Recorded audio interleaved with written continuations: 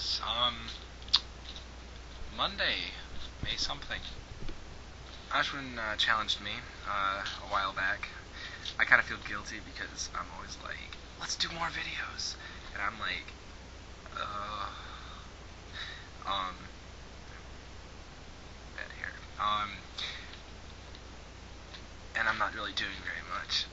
Uh, sorry, Ashwin. So I'm gonna do a few more videos.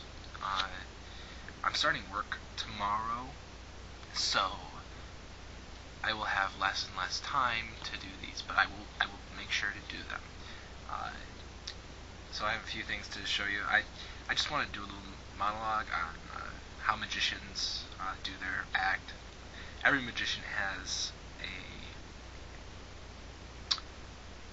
a set, a really easy trick that they'll do if the audience is getting too close to something.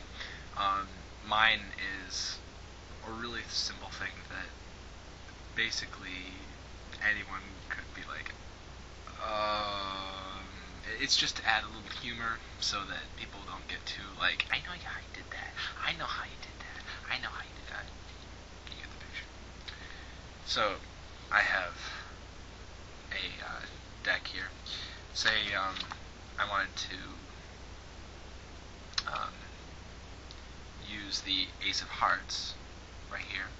Uh, what I do is I take the um, take the Ace of Hearts, put on top of the deck, take the Ace of Hearts and put it somewhere in the middle. And all I have to do, point it, and pull up. Pulls it straight out of the deck. And there it is. Oh my gosh, it's a magic trick! This is my room, as you know. This is my kitty. He's checkers. He has a cone around his head right now. He's not very happy. He got a wound in his uh, backside. And uh, he's been licking it, so he had to get a cone. I think he's kind of funny. That's about it for today. Um, I'm going to do your uh, oh my gosh trick at work. Um, and hopefully film some pretty sweet reactions to uh, a cool trick. Adios.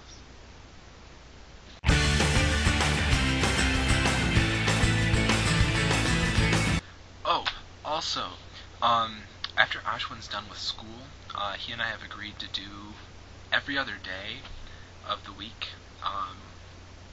do kind of like Vlogbrothers, where they don't get to chat online, uh, except like over the phone or Skype.